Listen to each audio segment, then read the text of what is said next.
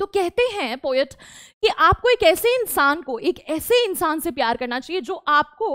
आपकी inner beauty की वजह से पसंद करे ये नहीं कि आप बहुत खूबसूरत हो तो इसलिए आपको पहली बार देखा अरे वाह कितने खूबसूरत हो चलो जो है आप ही हमारे लिए परफेक्ट